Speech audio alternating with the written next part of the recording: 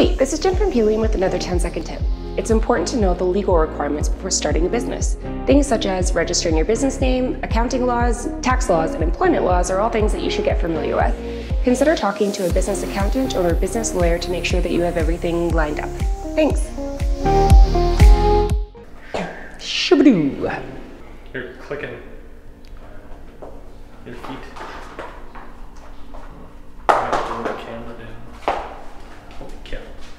Sounds like I'm like not a real person. it's important to know the legal requirements before. Hey, this is Jen from Helium with another.